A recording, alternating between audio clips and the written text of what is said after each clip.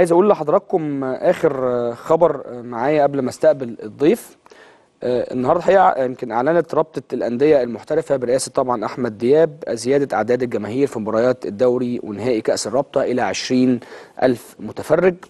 وجهت الرابطة في بيان رسمي الشكر والتقدير لجميع مؤسسات الدولة والأجهزة الأمنية ووزارة الداخلية للموافقة على طلب الرابطة بزيادة أعداد الجماهير في مباريات الدوري ونهائي كأس الرابطة.